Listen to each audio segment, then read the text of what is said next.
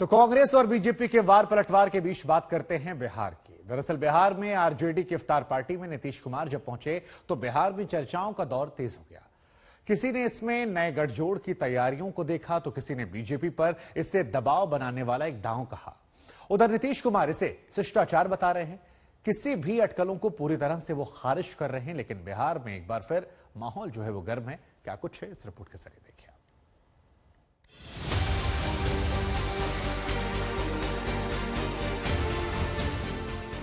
एक इफ्तार पार्टी ने बिहार में सियासी हलचल बढ़ा दी। एक इफ्तार पार्टी ने राजनीतिक गलियारों में चर्चाएँ बढ़ा दी। अब आरजेडी की इफ्तार पार्टी को लेकर तमाम अटकलें लगाई जा रही हैं। नीतीश कुमार के अगले कदम को लेकर तमाम बातें की जा रही हैं। यूँ तो रमज़ान के मौके पर हर दल की ओर से इस तरह की इफ्तार पार्टी का आयोजन किया जाता है। लेकिन पाँच साल बाद जब आरजेडी की इफ्तार पार्टी में नीतीश कुमार पहुँचे तो इसे बिहार में बदलती सियासत से जोड़कर देखा जाने लगा। लेकिन खुद नीतीश कुमार ऐसी किसी भी बात से इनकार कर रहे हैं। इफ्तार पार्टी को राजनीति से जोड़ने पर सवाल कर रहे हैं। इसका पॉलिटिक्स से क्या मतलब है? इस तरह की इफ्तार पार्टी में तो सबको निमंत्रित किया जाता सरकार की तरफ़ से भी हम लोग शुरू से करवा रहे हैं परंपरा। जब से हम हैं, तब से कराते हैं। सभी पार्टी के लोगों को, सब लोगों को बुलाते हैं। दूसरे पार्टी के लोग भी करते हैं, सबको बुलाते हैं।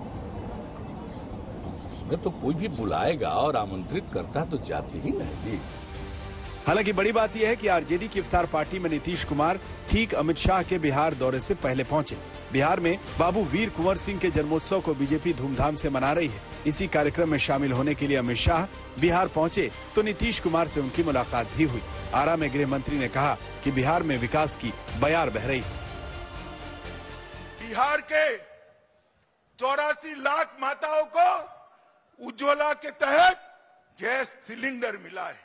अठहत्तर लाख किसानों को प्रति साल छह हज़ार रुपया मिल रहा है और 38 जिलों में आत्मनिर्भर क्रिटिकल केयर यूनिट भी बनाए हैं।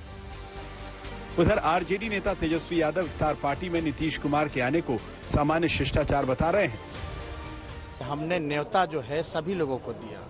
चाहे भाजपा के हों वीआईपी के हों एलजेपी के हों जेडीयू के हों तो सब लोगों ने और ये तो परंपरा रही है कि हर एक दूसरे के इफ्तार में हम लोग हमेशा शिरकत करते हैं। तो तेज प्रताप का बयान नीतीश कुमार को लेकर चर्चाओं को और बढ़ा रहा है।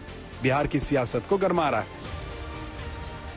पॉलिटिक्स है राजनीति में उथल पथल होते रहता है। आज हम हैं तो कल वो हैं। कल वो रहेंगे तो आज हम रहेंगे। तो ऐसा ये सब चीज़ उथल पुथल जो है चलता रहता है।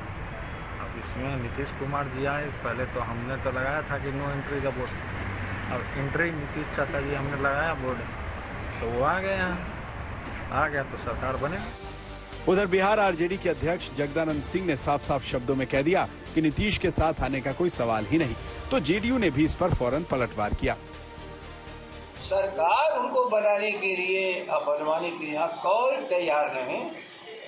अस्थिर दिमाग का व्यक्ति जो जनहित से बेसी अपनी कुर्सी को देखता हो, उस पर बिहार को भरोसा नहीं रह गया है।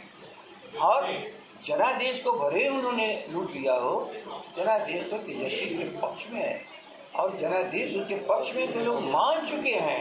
माननीय नीतीश कुमार जी की ऐसा तीक्ष्ण कार्यशैली है कि 24 नवंबर 2005 से लगातार जिस पार्टी की आप नुमाइंदगी कर रहे हैं, उसको राजनीति में ऐसा छत बिछत किया है कि आपको आपको लालू जी के बेटा को नेता मानने के लिए मजबूर होना पड़ा। इससे बड़ा समाजवादी आंदोलन का दुर्भाग्य क्या हो सकता है? बिहार में बीजेपी और जेडीयू के बीच मतभेद की चर्चाएँ काफ़ी दिनों से हैं। ऐसे में नीतीश कुमार का रोजा अफ्तारी वाला यह दांव बीजेपी पर दबाव वाली रणनीति के तौर पर देखा जा रहा है। पटना से सुजीत झा, आरा से सोनू सिंह और रोहित कुमार सिंह के साथ आज तक ब्यूरो।